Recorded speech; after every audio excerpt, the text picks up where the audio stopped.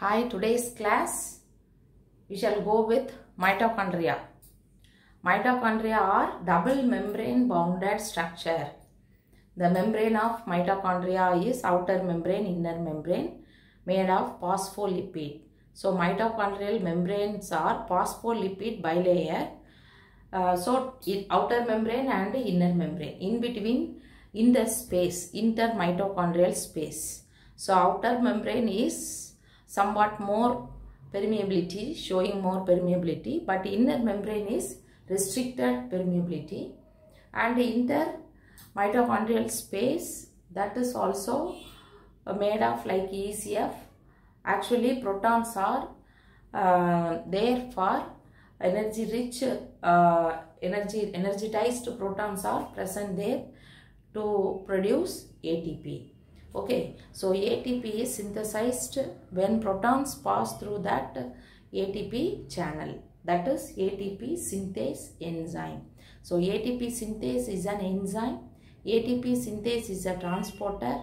ATP synthase is a fifth complex, protein complex. It's a um, it's a it's a protein that is uh, making ATP. That is phosphorylation of ADP plus inorganic phosphate that is occurring in that uh, channel protein area. Okay. So that is mitochondria. So mitochondria uh, is a semi-autonomous granule normally we say because uh, it has 70s ribosome and single circular uh, double-stranded DNA like prokaryotic organization. Prokaryotes also have single double-stranded circular DNA. Genomic DNA of, of prokaryotes is similar with mitochondrial DNA and chloroplast DNA. And uh, um, next, mitochondrial uh, ribosome is 70S. So, mitochondria is capable of synthesizing most of the enzymes through its own DNA. So mitochondrial DNA regulates mitochondrial DNA regulates synthesis of mitochondrial proteins. So genomic DNA, the, the particular cell that is genomic DNA, genomic DNA also regulates synthesis of some proteins for mitochondria and mitochondrial enzyme also, mitochondrial DNA also regulate the synthesis of enzyme. So it is thought that uh, it was like a prokaryotic structure. Uh, during evolutionary process, it was in association with uh, that molecular assembly to form a particular cell structure. Okay, so that is um, with the protocell, this mitochondria as well as chloroplast taken into that, by that it make that plant cell but in animal cell only mitochondrial structure uh, has that prokaryotic uh, resemblance.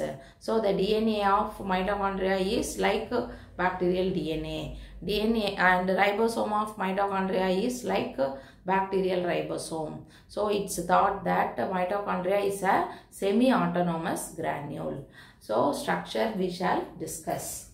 So mitochondria is normally stained by Janus green. Janus green is a basic stain that is uh, doing that uh, coloring of mitochondria and mitochondria are the sites of aerobic respiration because uh, here glycolysis occurs in cytoplasm so that the end product of glucose uh, metabolism in glycolysis is pyruvic acid. So this pyruvic acid from cytoplasm enters into mitochondrial matrix according to NCERT. Okay. So this mitochondria is a site of aerobic respiration because oxygen is utilized in mitochondrial matrix only.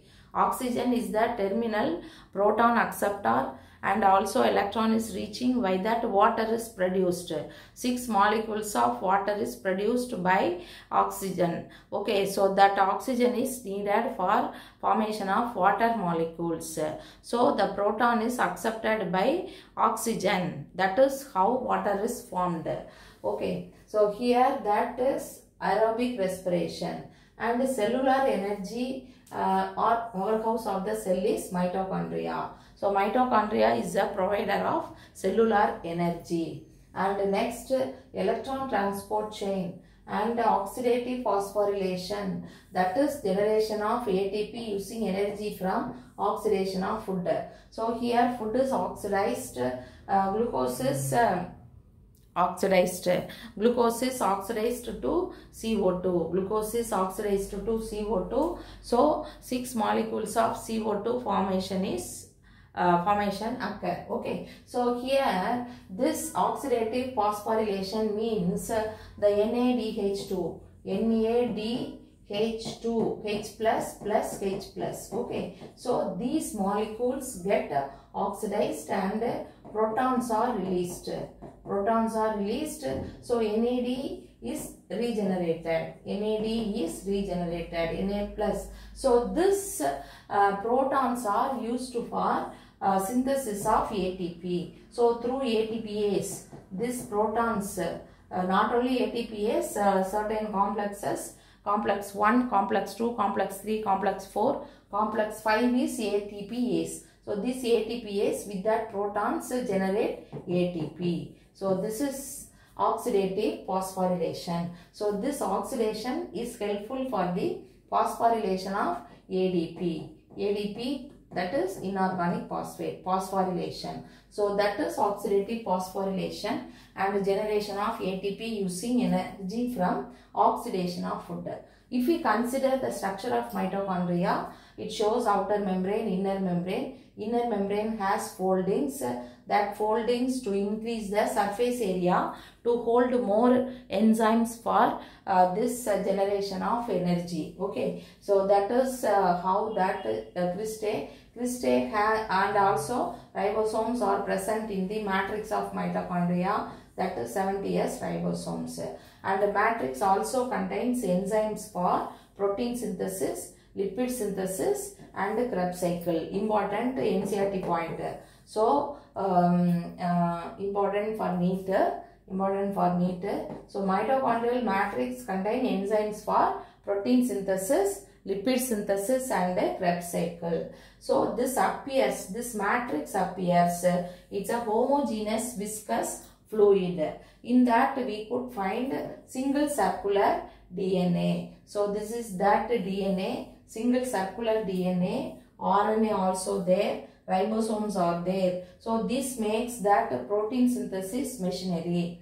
And here uh, biochemically mitochondrial uh, intermembrane space is similar to cytosol because cytosol uh, means it contains water uh, plus inorganic organic ions everything even glucose as well as amino acids are present so like that this intermembrane space it's not just a space so this space is that is um, somewhat fluid okay jelly like so protons hydrogen ions are pumped out from matrix into it during electron transport system. So from matrix into this uh, intermembrane space, here the protons are pumped out. So here proton concentration is more. Proton concentration is more uh, that is uh, during uh, in this uh, electron transport chain.